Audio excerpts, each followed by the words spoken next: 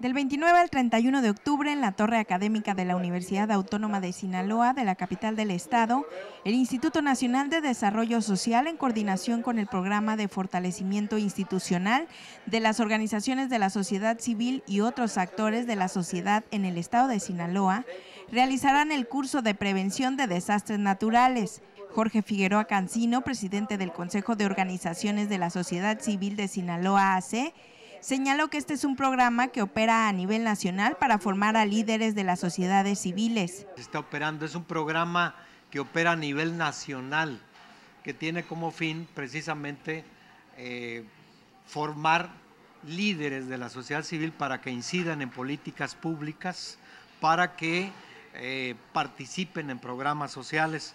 Y nosotros estamos operando el programa este en Sinaloa, es sede. Arrancó ya desde hace varias semanas atrás, pero ahorita estamos anunciando el eh, octavo, Pepe, octavo curso.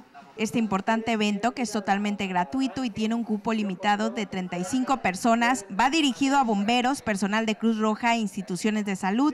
A este evento asiste José Gallardo Hernández de la Secretaría de Gobernación, quien fue el responsable del operativo de protección civil en Jalisco durante el huracán Patricia. Gallardo Hernández, él tiene un cargo, es subdirector de un área, del área precisamente de prevención, de la cultura de la prevención de, una de las subsecretarías de la Secretaría de Gobernación.